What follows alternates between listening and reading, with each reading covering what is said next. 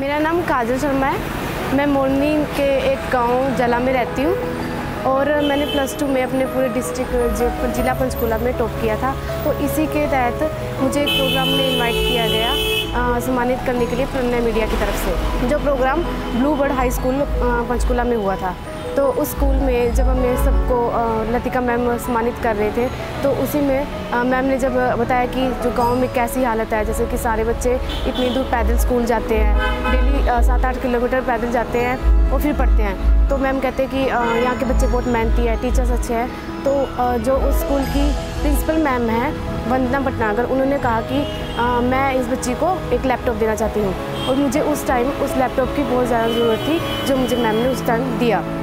और वो लैपटॉप अब मेरे बहुत काम आ रहा है जब मैं, अब मैं बी कर रही हूँ, गुरु गोविंद सिंह कॉलेज चंडीगढ़ से। तो मैं वंदना भटनागर मैम का बहुत बहुत थैंक यू करना चाहती हूँ कि उन्होंने मुझे मोटिवेट किया और आगे बढ़ने के लिए सोर्सेज अवेलेबल करवाए, क्योंकि हमारे गाँव में उन सोर्सेज की बहुत ज़्यादा कमी है इंटरनेट की कमी है टेक्नोलॉजी की कमी है। और इस लैपटॉप की वजह से अब मैं टेक्नोलॉजी से जुड़ी हूँ और आगे अपनी पढ़ाई ईजी तरीके से कर रही हूँ। Thank you ma'am